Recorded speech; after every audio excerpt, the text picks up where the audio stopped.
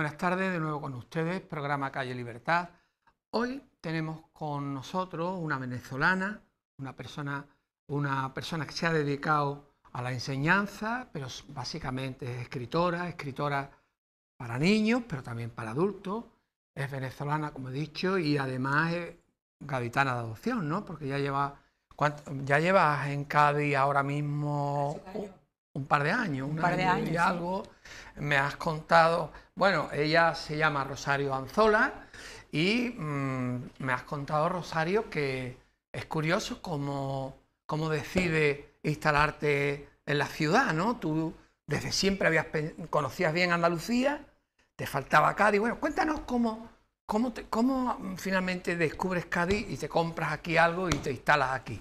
Bueno, yo siempre me sentí muy cerca a Andalucía desde niña y tocaba castañuelas, cantaba canciones españolas, eh, muy este, apoyada por mi abuelo materno, que le gustaba la música, y, leía sobre Andalucía. La primera vez que vine a Sevilla yo sabía cuál era la calle de Sierpes y todo, pero Cádiz no la conocía. Pero mi hija mayor, que es psicóloga social, vino a hacer un máster a Cádiz.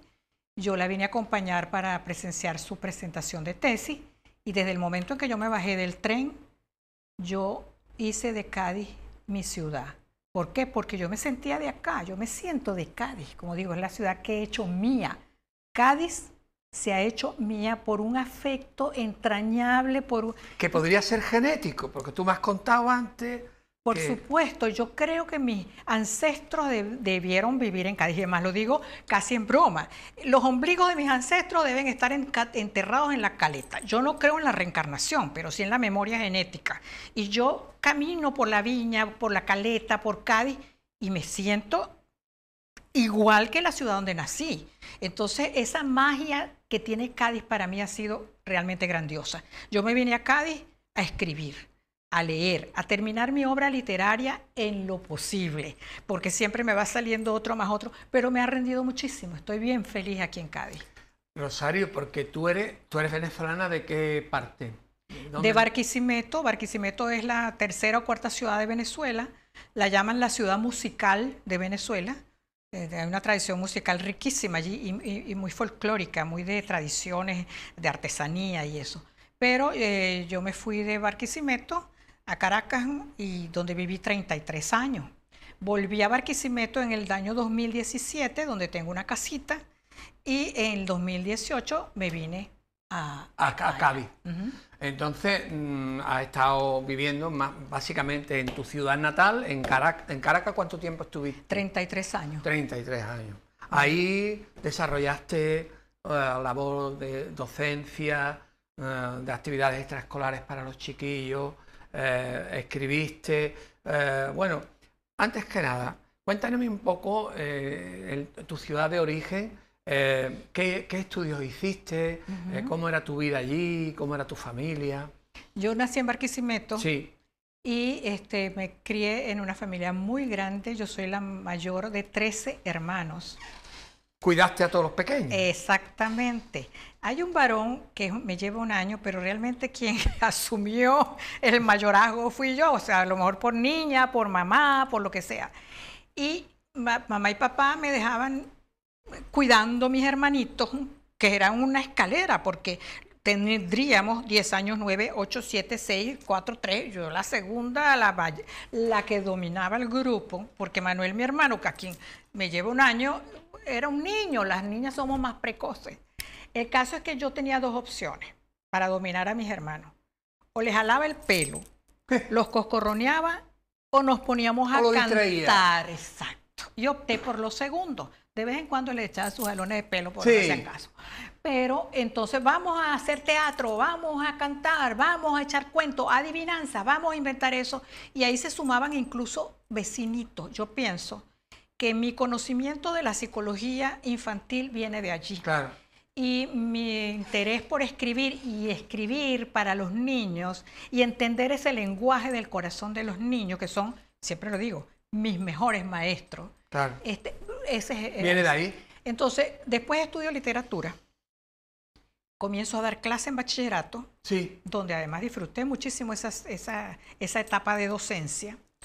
Pero yo no me amañé con el Ministerio de Educación. A mí me parece que, que, que no funciona. Eso es una educación del siglo XIX, todavía en el siglo XXI tenemos la educación del siglo XIX. Sí, porque todos en, en banca. Todo, entonces yo, eh, yo cumplí el programa, pero ponía a los muchachos a jugar. Llegaba un momento en que me decían, pero ¿por qué esos niños se ríen tanto y hacen tanta bulla? Porque así es que hay que enseñar a través del juego. Lo cierto es que un día dije, no, yo no voy a poder con esto, voy a terminar expulsada del Ministerio de Educación. Y fundé con una psicóloga amiga un instituto de educación creativa que de alguna manera era para explorar las distintas manifestaciones del arte, pero además eh, potenciar los talentos de los niños, desde los muy talentosos a los que no teniendo tantos talentos tienen potencialidades extraordinarias. Eh, ahí estuve varios años, e hicimos un preescolar experimental que funcionaba en las mañanas, en las tardes ¿Qué, los que estaba desconcertado o algo así? ¿El Estado No, era privado. ¿O era, absolutamente privado? Privado, ¿no? privado. Y eh, teníamos también talleres o cursos para maestros y para padres, muy exitosos. Paralelamente, yo trabajaba como redactora creativa para una empresa de publicidad y mercadeo. Eso la verdad que me dio un gran- una formación muy particular. Yo estaba muy vinculada al sector cultura en mi ciudad y en una ocasión hice una campaña y este es la persona que dirige, que era presidente de los amigos del museo, se va a Caracas y lo nombran presidente de una entidad fi- financiera, un banco. Entonces un día me llama y me dice, mira, te necesito acá en Caracas para que trabajes conmigo y me ayudes con relaciones institucionales y mercadeo. Bueno, mis hijos estaban todavía pequeños, adolescentes, sobre todo la mayor, el otro estaba muy pequeño, y dije, me voy, me voy por dos años a probar. Me quedé 33. Amigo, ¿cuántos hijos tienes tú? Rosario? Dos, María Elisa, que es la niña, Ricky, que es varón, y una hermana, hija, que es la penúltima, que fue siempre muy pegada conmigo. Ella es veterinaria, estudió su doctorado acá en España, y sus hijos me dicen, abuela, como hija. No, ¿Dónde viven ellos? Eh, Ricky vive en Nueva York, él trabaja en el departamento de cine de la Universidad de Nueva York, él es cineasta, guionista. María Elisa vive en Miami y la otra que es Bernadette, la mini, vive en Barquisimeto este, como veterinaria, da clases en la universidad. ¿Tú conoces también Rosario Cartagena de India? O- ¿Cómo no? Sí, Sí. Es parecido a Cádiz, ¿no? Y, y La Habana también, La Habana también. sí señor. sí. Sí. Bueno, básicamente las murallas y la el, el castillo. Sí. Luego el caserío, eh, sí, las plazas, etcétera, pero el caserío gaditano, eh, no El- sé, Cartagena no la conozco, pero La Habana es muy barroco. Sí, sí, pero la- el, el la- malecón... lo que se resp- el malecón igual. Idéntico, Igual, sí. Y lo sí. mismo en la parte de la entrada a Cartagena, el castillo, eso, la, la parte de los, de los castillos, eso se, se me asemeja mucho. Tú me comentabas antes que Estados Unidos como que es menos, ¿verdad? No te gusta tanto. No, mis hijos viven en los Estados Unidos, yo podría tener la opción de vivir allá, no, pero yo soy española y más que española, gaditana, andaluza. Aquí me siento feliz realmente. ¿Cuándo empezaste tú a, a- a- a oír? Me contabas antes que ya empezaste con el nombre Cádiz hace ya en los, los 80, ¿no? Con, eh, empezaste a, a vislumbrar el nombre de Cádiz por... ¿Cómo de- no? Este, siendo yo muy interesada en todo lo que era la cultura andaluza, y además nosotros estudiamos en la historia, cuando estudiamos historia de Venezuela, estudiamos de alguna manera historia de España. Entonces, Cádiz para mí era una referencia casi escolar, que si Miranda murió en la Carraca, Sí. Cádiz tenía un puerto importantísimo donde, de, eh, de comercio con las Américas, y le contaba a Rafael, te contaba a ti, que en el año 86, como todo escritor, eh, como todo escritor, este, yo comencé a hacer una novela. La novela se llama Cartas de tres siglos. Tiene nombre, tiene estructura. No sé cuándo la voy a escribir o- completa, no sé si la voy a terminar, pero el caso es que yo comienzo a estructurar y la, la- la novela arranca en Cádiz en el año 1570. Fíjate, Entonces, es curioso. hay muchas cosas que me unen Sí, a esta como una ciudad. predestinación. Mi nombre, la patrona de Cádiz. Hay muchísimas cosas Que, que, eh, que coinciden. coinciden. Sí. Bueno, Rosario, vamos a hablar un poquillo de tu obra. Ahí hay una pequeña muestra con un montón de libros, poemas, poemas infantiles, pero también algunos incluyen discos porque hay música, porque a ti tú, tú, también no eres música profesional, pero sí siempre fuiste aficionada y fuiste una persona que te gustó, tuviste ese sentido del ritmo. Yo no podemos hacerlo, hacer con cada uno de los libros una historia porque no nos da tiempo. Pero bueno, aquí tengo quizás el más importante libro tuyo, ¿no, Rosario? Que es El niño que soy, The Child That I Am, de eh, una parte en español, otra parte en inglés, con uh, unos dibujos magníficos, eh, entrañables, ¿no? Este, cuéntame un poco acerca de este libro, Rosario? Ese libro eh, tiene una historia muy bonita. Yo cuando era directora del preescolar, los niñitos de las épocas más felices de mi vida me entraban a la dirección, yo tenía siempre la puerta abierta, a contarme cosas que les sucedían. Y entonces yo las anotaba. Ver, por ejemplo, una maestra, había un niño que tenía piojos y el niñito llegaba llorando y me decía, es que la maestra dice que tengo piojos y nadie quiere sentarse conmigo en el banquito. Entonces yo anotaba. Cuando tenía reuniones con la maestra, eso que los niños me decían, yo lo trataba en mi bitácora. Pues. Una vez me, me invita a la Universidad de los Andes a dar un seminario de literatura infantil para profesores y maestras. Y yo dije, me voy a llevar la bitácora. Me llevo la bitácora y ya yo tenía los 40 cosas que más se repetían, que los niños me contaban, con la idea de hacer un libro de didáctica para preescolar. Pero dije, ¿y por qué voy a hacer yo un libro explicativo si los niños ya lo dicen? Y eso que los niños me decían, simple y llanamente lo puse en una ficha, no pensé nunca en un libro. Y me las llevo para la Universidad de los Andes. Cuando termino mi taller, las reparto entre las maestras y digo, bueno, ya que hicimos el taller de literatura infantil, de cómo entender a los niños, de cómo jugar con ellos, aquí están estas fichas, ustedes leen y lo explican. Cuando termino, las maestras se me acercan y me dicen, profesora, déjenos las fichas para fotocopiarlas porque queremos tenerlas. Bueno, de repente me llaman de allá de la universidad y me dicen, mira, Rosario, tenemos que decir, esto está circulando por toda Mérida, ¿qué hacemos? Le digo yo, bueno, deja ver. Y no, se lo hablo a mi editor de Rayuel Ediciones y me dice, tráemelo para acá. Y sale el libro. Resulta que el libro ha sido mi bestseller. ¿Por qué? Porque ese es un libro donde la gente se siente identificada, incluso los adultos. Ese no es un libro para niños. Ese es un libro que cualquiera que tenga sensibilidad interior, que yo pienso que todos la tenemos, contacta con su niño interno Fíjate que una vez un empresario de Medellín le regalo yo el libro, fue un tipo encantador, don Jaime, y después me, lo vuelvo a conseguir años después, me dice, ¿tú sabes lo que tengo detrás de mi escritorio? Una de las cosas de tu libro que dice, no completes mis frases ni termines mi dibujo, porque cuando yo me siento a, a, conversar con mis empleados, con mi gente, no me dejan hablar. Entonces ese libro se lo di a todos los empleados. Es una cosa que a nivel empresarial es por eso, porque toca la fibra del niño interior, del niño eterno. Eh, Rosario, una de las razones por las que estás aquí es, que también quieres completar tu obra, tienes una cierta tranquilidad porque te compraste un, piso aquí en un apartamento, ¿no? En el centro.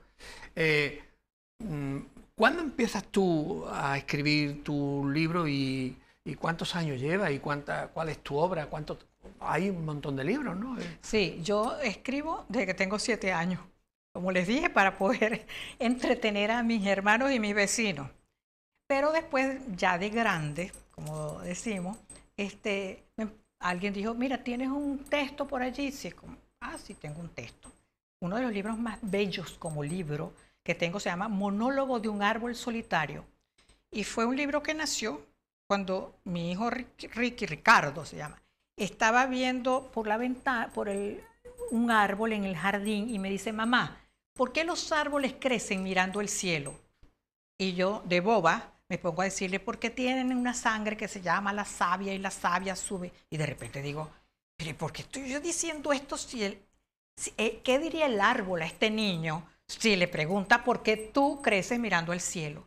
Miren, yo estaba haciendo algo, me senté y comencé a escribir. Me miras por la ventana como queriendo comprender que, por qué miro el cielo. Y escribo el monólogo de un árbol solitario, que se lo hace a mi hijo, eh, imaginariamente, nada de sabia, sino por qué, porque ese contacto con... Un día va a mi casa el que era presidente del Instituto Nacional del Menor en Venezuela, un pediatra amigo. Y yo tenía una mesa llena de papeles y por esas casualidades estaba el texto allí, escrito a máquina, pero estaba el texto. Y él venía a convencerme de que dirigiera la oficina del Instituto Nacional de Menor en Barquisimeto, en el estado Lara. Yo no quería, yo estaba con mis talleres y mis cosas en ese momento.